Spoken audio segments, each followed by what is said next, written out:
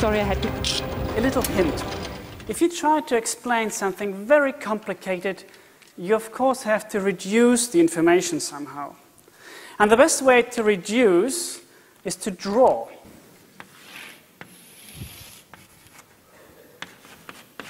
The difference between what we are and what we want it to be is the reason why we drink alcohol.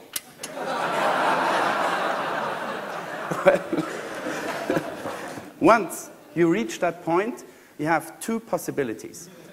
Uh, you can opt out, or you can merge. And then finally, finally we have uh, the friend of my friend. That's, of course, also my friend. And this is the uh, top secret algorithm of Roman's favorite book. How the semifinals and the finals uh, will be played out, you can discuss during the break. Thank you much for the invitation at PINC. It was a great time. Thank you. Thank you.